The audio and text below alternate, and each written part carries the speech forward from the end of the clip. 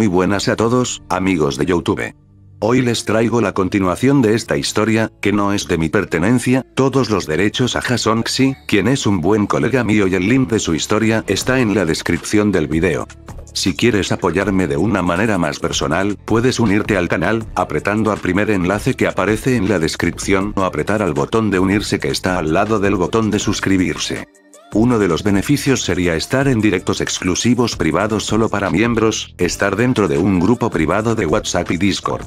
También puedes recibir consejos míos sobre cómo empezar un canal en YouTube hablando contigo en privado, recibir saludos al final de todos mis vídeos, votar por las futuras historias del canal, y más.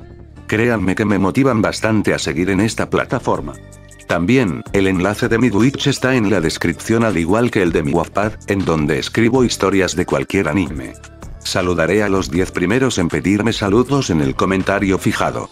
Sin más, continuemos con la historia. El elevador se detendría en el último piso y Izuku saldría viendo el gran espacio que había. Izuku solo caminaría buscando a Bosu no Ki hasta que vería a un hombre junto a un hombre de cabello rojo sentado en una silla.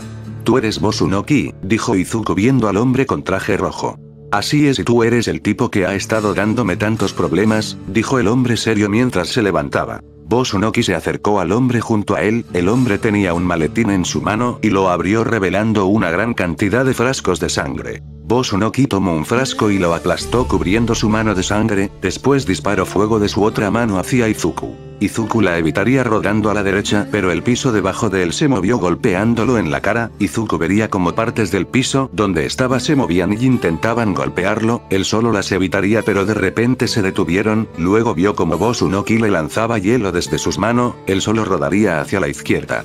¿Qué mierda es esto? preguntó molesto. Ese es mi Kirk. Puedo copiar el Kirk de alguien durante una hora con tan solo tocar su sangre, dijo con una sonrisa arrogante. Bosunoki tomó otro frasco y lo rompió. Izuku vio como sus puños se volvían metal con algunos picos en los nudillos. Bosunoki se lanzó a golpear a Izuku, él solo los evitaría pero en un descuido recibió uno que lo hizo escupir sangre.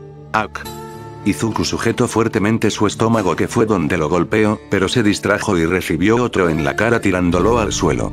Este es el que ha estado causando tantos problemas, dijo sonriendo siniestramente, patético.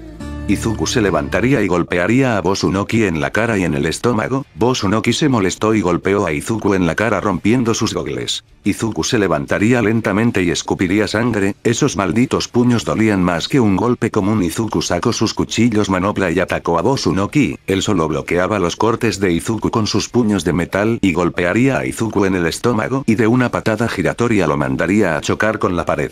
Izuku se levantaría débilmente con sangre en la comisura de sus labios y sus gogles rotos. Izuku sacó sus nunchaku y trató de golpearlo pero evitaba todos sus golpes, Izuku sacó su cadena y la enredó en su cuello, jalándolo hacia él y dando un rodillazo en la nariz. Bosunoki vería como sangre caía de su nariz y se molestaría, Izuku lanzó un cuchillo que Bosunoki evitaría. Fallaste, dijo Bosunoki. No te apunte a ti, dijo sonriendo con sangre en la boca. Bosunoki vería hacia dónde dio el cuchillo viendo al hombre que estaba con el muerto y el maletín con la sangre cayó por la ventana. Así que me quitaste mis quirks, dijo Bosunoki, como sea aún tengo este. Bosunoki mostró sus puños de metal y atacó a Izuku. Izuku bloqueó un golpe con su brazo. Ah. Dijo con dolor por el golpe. Izuku se agachó evitando otro y dio un barrido de pies tirando a Bosunoki. Bosunoki daría una patada a Izuku tirándolo al suelo, Bosunoki se levantaría y se acercaría a Izuku. Veamos cuál es tu Kirk, dijo tocando la sangre de Izuku, pero se extrañaría al ver que no pasaba nada. ¿Qué? Dijo confundido, ¿cómo es posible mi Kirk nunca ha fallado a menos que...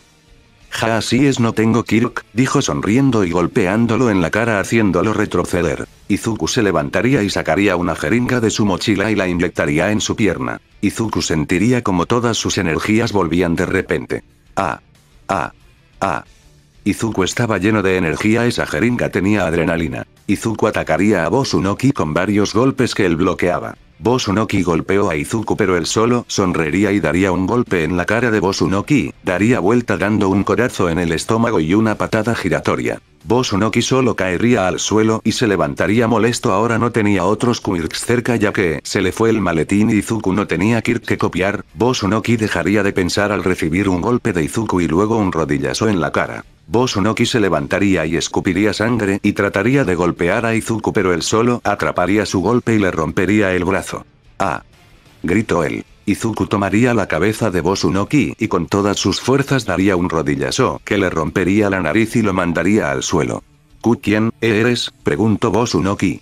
Soy Ektik, dijo sonriendo cansadamente. Izuku con sus últimas fuerzas llegaría hacia su auto y se iría viendo cómo llegaba la policía y los héroes al edificio, dentro de él había todas las pruebas para demostrar que él era el que vendía armas droga y sobornaba a los héroes junto a una lista de todos los héroes corruptos. Definitivamente fue una larga noche. Las semanas pasaron y Izuku se recuperó de las heridas hechas por Bosunoki, también los héroes corruptos se les fue removida su licencia de héroes por lo que dejaron a Osu. Izuku venció a Bosunoki por lo que la ciudad era libre pero sabía que esto no era el final siempre había más villanos queriendo atacar por lo que él los vencería como Ektik el vigilante sonriente. Han pasado ya varios meses, el examen de admisión para UA había sido hoy, pero eso a Izuku no le importaba él ahora se encontraba trabajando por eso vayamos con alguien más. Izumi Midoriya ella se encontraba ya saliendo de la UA, había hecho el examen y estaba un paso más cerca para cumplir su sueño de ser la más grande heroína de todas, Olmig cree firmemente en ella también su padre y su madre y no los decepcionaría.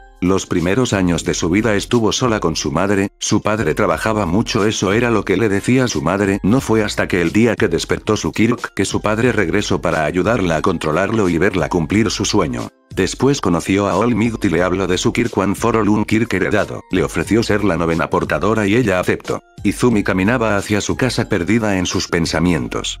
Espero haber aprobado destruir varios robots, pero no sé si sean suficientes, pensaba ella preocupada. Además cuando use el One for All mi brazo, se rompió tengo que seguir practicando. Izumi entró a su casa y vio a su padre y su madre esperándola. Hija ¿cómo te fue? preguntó Minako. Bien eso creo espero haber conseguido suficientes puntos, le contesto algo nerviosa. No te preocupes lo lograrás después de todo eres la mejor hija, diría Yasi feliz por su hija. Yasi Midoriya él hace años cuando se enteró acerca de la muerte de Inko Midoriya no le importó, él ya tenía a su familia, en cuanto a su hijo no le interesó a dónde lo mandaban él pensó que sería un orfanato cualquiera de Musutazu, no fue hasta después de mucho tiempo conviviendo con su hija que empezó a pensar si hizo bien en abandonar a Izuku él vio como su hija lo miraba a él, era el héroe de su hija y le dolía saber que no era nada parecido a un héroe y no merecía el amor que tenía su hija hacia él, por eso decidió que se convertirá en lo que su hija cree que es. Por eso decidió buscar a Izuku, se sorprendió al ver que se encontraba en un orfanato en la ciudad de Osu no sabía por qué lo mandaron hacia ahí pero decidió ir por él, pero el karma tan cruel que justo el día siguiente se enteró que el orfanato donde se encontraba su hijo encontraron a la encargada asesinada y a varios niños desnutridos, él intentó buscar a su hijo pero no lo encontró por la forma en que los niños tenían hambre. Pudo haber muerto, los héroes de Osu le dijeron que lo buscarían pero nunca más supo de ellos. Después de varios meses desde que venció a Bosunoki, ha estado deteniendo a uno que otro villano, golpeando a uno que otro héroe que lo perseguía lo normal, el nombre de Ektik se hizo conocido por todos después de todo era el héroe de Osu. Los héroes cada noche querían atraparlo, lo acusan de uso de Kirk sin licencia, pero él no tiene Kirk por lo que técnicamente no está rompiendo la ley, bueno al menos no esa ley. En una sala se encontraban algunos héroes profesionales junto a oficiales discutiendo sobre las acciones de Ektik. Tenemos que discutir qué haremos con el vigilante de Osu, diría el detective Tsukauchi. ¿Qué es lo que sabemos de él? preguntó un ratón barra oso barra perro. Hasta ahora sabemos poco, no sabemos su Kirk pero creemos que tiene que ver con cuchillos, dijo el detective Tsukauchi, y testigos que lo han visto dicen que parece ser joven. ¿Qué tan joven? Como de 15 o 17 años. Tan joven. Dijo sorprendido Olmigos. Da igual su edad deberíamos detenerlo está rompiendo la ley, dijo el héroe número 2 en Deabor con la misma cara de estreñido de siempre. Yo no creo que esté mal lo que hace, por lo que vimos Osu estuvo corrupta durante mucho tiempo y fuimos muy ciegos al no verlo, dijo Midnights. Aún así ha asesinado a varias personas, dijo serio Tsukauchi. Pequeñas fallas, dijo Midnights. El problema es que la gente de Osu le perdió la fe a los héroes y ven a Ektik como su héroe, dijo Tsukauchi. Ektik, Preguntó Olmigas. Así es como se hace llamar. Izuku se encontraba con su traje de vigilante por los techos de Osu. Izuku ha estado investigando la desaparición de varios niños y niñas. Lo más curioso es que todos los desaparecidos eran Kirkles, algo bastante inusual. Estas desapariciones han estado ocurriendo desde hace años pero recientemente son más frecuentes. Izuku estaría en un techo pero repentinamente evitaría una patada dirigida hacia su cabeza. Izuku vería a un tipo con traje que lo hacía parecer un robot. Ingenium, diría Izuku. Ektik, estás bajo arresto por romper la ley, diría Tensei. Así que ley rompí. El vigilantismo es ilegal, contestó Tensei. Cierto necesito licencia para bajar gatos de los árboles, dijo Burlon. Ingenium utilizaría los motores de sus codos para impulsarse hacia Izuku, Izuku tomaría su brazo y utilizando el impulso de Ingenium a su favor, lo derribaría usando el Seo Inage, es la misma llave que utilizó con Bakugou en la prueba de villanos VS Héroes que dio Olmix. Ingenium solo caería y se levantaría con algo de dolor. ¿No has aprendido de todas las otras veces en que intentaste atraparme que no puedes lograrlo? diría Izuku. Durante estos meses Ingenium fue el héroe que más intentos de atraparlo hacía. Dime te dio tanto celos que fuera yo quien detuvo a Bosu no Ki, pregunto Izuku ese fue el caso de otros héroes ya que a todos se les informó del villano Bosu no Ki. No son celos. Dijo volviendo a atacar solo para que Izuku lo evitara de nuevo, es más bien impotencia, se supone que yo soy un héroe profesional y aún así no pude detenerlo, y ahora la gente de Osu ya no tiene fe en los héroes, por eso te derrotaré y haré que la gente crea de nuevo en los héroes. Izuku solo escucharía eso y procedería a hablar. Eso es estúpido, dijo serio. ¿Qué exclamó Ingenium? Si quieres devolver la fe en los héroes a la gente de Osu entonces hazlo actuando como héroe, diría Izuku. ¿Qué sabes tú de héroes si eres solo un vigilante? Le contesto Ingenium molesto. Tal vez tengas razón y yo no sepa cómo actúa un héroe, pero durante estos meses no he escuchado nada de ti deteniendo villanos o salvando gente. Eso no es verdad. ¿En serio entonces dime qué otros crímenes has evitado estos meses? Preguntó Izuku. Ingenium solo trataría de recordar pero luego se sorprendería al ver que tenía razón.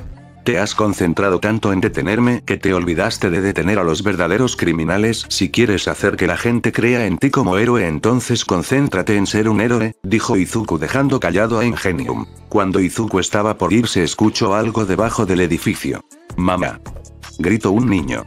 No déjenlo gritó una mujer a unos hombres que tenían a su hijo y lo metían a una camioneta, los hombres se fueron de ahí, y Zuko bajaría hasta estar frente a la mujer, Ingenium lo seguiría. ¿Qué sucedió? Preguntó Ingenium pero la mujer lo ignoró y fue directo a Izuku. Ektik por favor salva a mi hijo.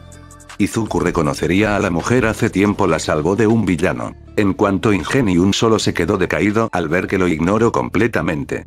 ¿Su hijo tiene Kirk? Preguntó Izuku serio. La mujer se confundiría pero respondería, no él es Kirkles. Izuku al escuchar eso sabía que eran los hombres que buscaba. No se preocupe traeré a su hijo de vuelta. Yo también. Diría Ingenium solo para volver a ser ignorado. Gracias Ektik, diría la mujer aún preocupada. Ingenium voltearía a mirar a Ektik pero vería que ya estaba en los techos siguiendo a la camioneta. No es cierto solo me distraje un segundo. Dijo para ir tras él. Fin del capítulo, espero que les haya gustado, y si es así, denle un buen pulgar arriba al video que me apoyan bastante haciendo eso y para que suba la siguiente parte. Aprovecho para informar que me creé un nuevo grupo para los miembros del canal llamado Midorilla Creu, en el que les apoyaré en su canal de YouTube y si quieren más información, aprieten al botón de unirse, que está al lado del botón de suscribirse. Los canales de los miembros de la Midorilla Creu están en la descripción y en el comentario fijado. El enlace o link de mi Twitch está en la descripción, en donde hago directos casi todos los días. También, el link de mi Wattpad en el que escribo historias de cualquier anime está en la descripción. Además, pueden suscribirse al canal que hago directos casi todos los días para que les notifique de mis directos. Mi ID de Epic Games es Ronin Fanfics por si quieren jugar conmigo algún juego, y mi ID está tanto en la descripción del video como en el comentario fijado. Sin nada más que añadir, me despido no sin antes dejar los saludos a los miembros del canal de rango medio en adelante.